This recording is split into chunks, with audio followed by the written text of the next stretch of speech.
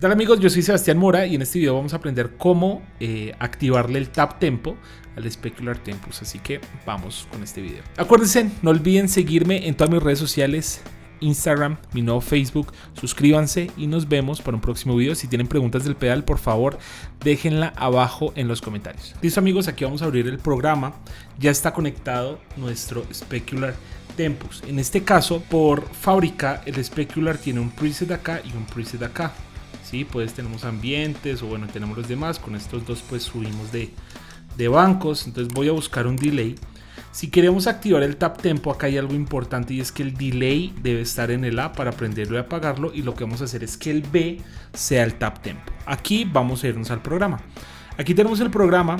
Eh, el delay que yo tengo en este momento está en la página 3. Es este delay que está aquí. Lo voy a poner.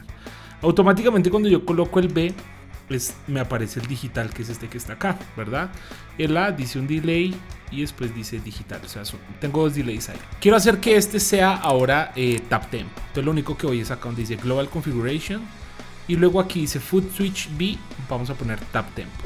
Colocamos confirmar, cerrar y automáticamente cuando haga esto se vuelve tap tempo, ¿listo?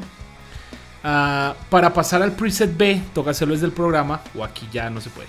O sea, ya aquí este es tap tempo, ¿listo? O sea, en el A tenemos el delay o el efecto que queramos y en el B tap tempo. Importantísimo eso.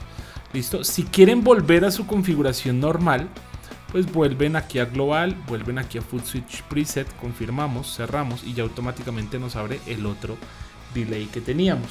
¿Listo? Entonces esto depende. Si ustedes tocan en vivo, no tocan consecuencia, les recomiendo que lo tengan como tap tempo. Si ustedes tocan consecuencia, pues yo les recomiendo que simplemente guarden acá los BPMs y todo lo normal en la configuración, en la velocidad que es, y guarden pues el tiempo que ustedes ven ahí. Ahora, a veces aparece en milisegundos. Si ustedes quieren milisegundos, simplemente lo guardamos y eh, bueno, vamos a activar aquí el, el tap tempo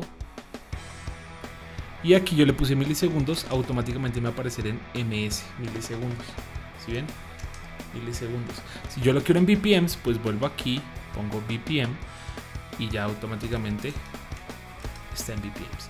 Para yo guardar todo lo que yo quiera, sin embargo, digamos yo eh, en este caso no lo voy a dejar en tap tempo, voy a dejarlo en preset porque yo realmente guardo todo. Confirmamos, listo. Si yo ya quiero todo esto acá, simplemente escribo write sí y ya automáticamente me queda guardado todo lo que acaba de hacer. ¿Listo amigos? Espero les haya servido. Así se activa el tap tempo, ¿listo?